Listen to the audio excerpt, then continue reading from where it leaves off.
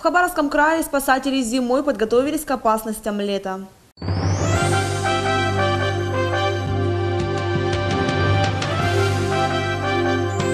Военнослужащие Амурского спасательного центра МЧС России, базирующие в Хабаровском крае, прошли проверку готовности к возможным чрезвычайным ситуациям летнего периода, пожарам и паводкам. Оценивая ее, комиссия Дальневосточного регионального центра МЧС. Проверяющие обратили внимание на спасательное имущество, которое используется при ликвидации чрезвычайных ситуаций, связанных с прохождением паводка и природными пожарами. Кроме смотра сил и средств, которые в случае необходимости будут использованы для спасения людей, военнослужащие прошли ряд испытаний в полевых условиях. Аэромобильная группировка Амурского спасательного центра МЧС России готова в полном составе принять участие в ликвидации последствий возможных чрезвычайных ситуаций предпаводкой и пожароопасный период 2015 года. Техника находится в исправном состоянии. Группировка оснащена всем необходимым оборудованием и имуществом, а также продуктами питания для автономного существования на период до 10 суток. Резюмировано в итоге проверки начальника Амурского спасательного центра МЧС России Алексей Шишин.